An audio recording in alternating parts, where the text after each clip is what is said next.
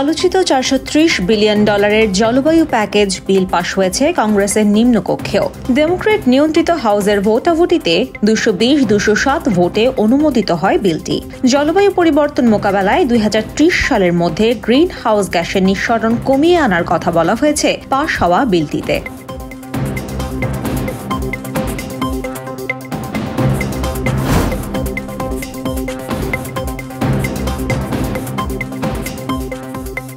Donald ট্রাম্পের ফ্লোরিডার বাড়িতে গত সপ্তাহের অভিযানে এফবিআই কিছু অতি গোপনীয় নথি জব্দ করেছে বলে এই সংক্রান্ত এক তল্লাশি পরোয়ানায় বলা হয়েছে।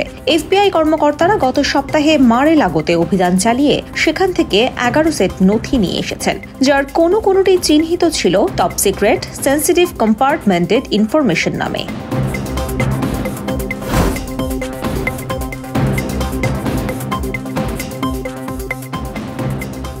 পরমাণু বিদ্যুৎ কেন্দ্র উন্মুক্ত রাখতে পিজি অ্যান্ড ই কর্পোরেশনকে এক দশমিক চার বিলিয়ন ডলার সরকারি ঋণ দেওয়ার প্রস্তাব দিচ্ছেন ক্যালিফোর্নিয়ার গভর্নর গ্যাভিন নিউসাম।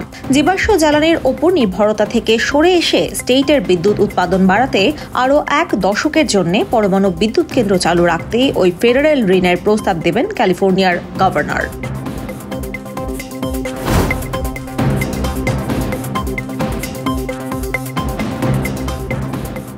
প্রায় পুরোপুরি গর্ভপাত নিষিদ্ধের অনুমতি দিয়েছে আইডাহর শীর্ষ আদালত। গর্ভপাতকে অপরাধ কার্যক্রম হিসেবে নতুন আইন কার্যকর করে রিপাবলিকান নিয়ন্ত্রিত স্টেটটি। গর্ভপাতের পক্ষের সমর্থকরা আদালতের শরণাপন্ন হলে আদালতও সেই আইন থামানোর উদ্যোগ নেয়নি। আইডাহো সুপ্রিম কোর্টে রায়টি তিন দুই রুলিংয়ে পাশ হয়।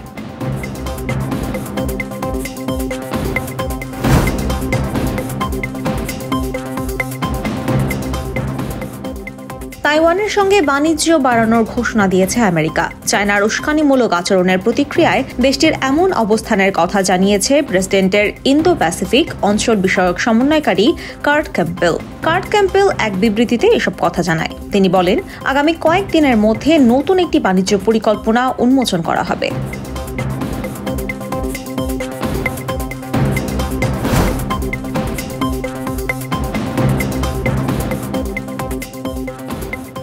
নিউ ইয়র্কের একটি অনুষ্ঠানের মঞ্চে ঔপন্যাসিক সালমান রুশদি ছুরি হামলার শিকার হওয়ার কয়েক মিনিটের মাথায় পুলিশ চব্বিশ বছর বয়সী এক সন্দেহভাজনকে তাদের হেফাজতে নিয়ে নেয়। আইনশৃঙ্খলা রক্ষাকারী বাহিনীর কর্মকর্তারা হামলাকারীর নাম বলছেন হাদি মাতার চব্বিশ বছর বয়সী এই যুবক নিউ জার্সি থেকে নিউ ইয়র্কে গিয়েছিলেন বলে জানা গেছে।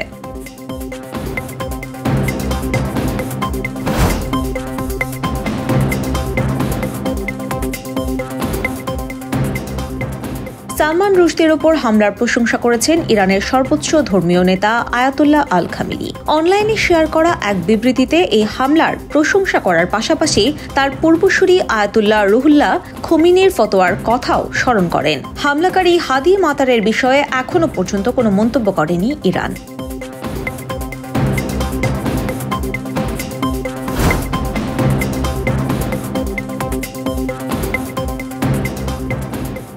আমেরিকা যদি রাশিয়ার সম্পদ বাজেয়াপ্ত করে, তাহলে মস্কো ও ওয়াশিংটনের দ্বিপাক্ষিক সম্পর্ক পুরোপুরি নষ্ট করে দেওয়ার হুঁশিয়ারি দিয়েছে রাশিয়া।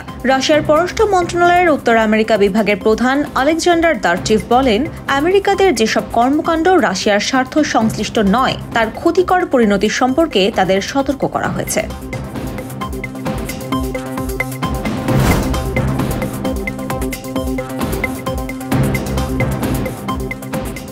ব্যবসায়ীদের কারসাজিতে তেল ও চালের বাজারে অস্থিতিশীলতার প্রমাণ মিলেছে ভোক্তা অধিকার সংরক্ষণ অধিদপ্তরের অভিযানে। রাজধানীর বাজার ও আড়তে অভিযান চালিয়ে মেলে এমন প্রমাণ।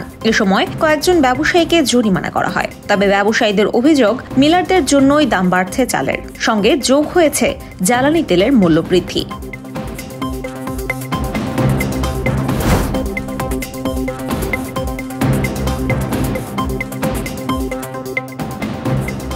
অবশেষে এশিয়া কাপের দল ঘোষণা করল বাংলাদেশ। সাকিব আল হাসানের বেট উইনার নিউজ বিতর্ককে ঘিরে দল ঘোষণা নিয়ে নানা নাটকের পর দলের অধিনায়ক করা হয়েছে তাকেই। এশিয়া কাপের জন্য স্কোয়াডে রাখা হয়েছে সতেরো জনকে।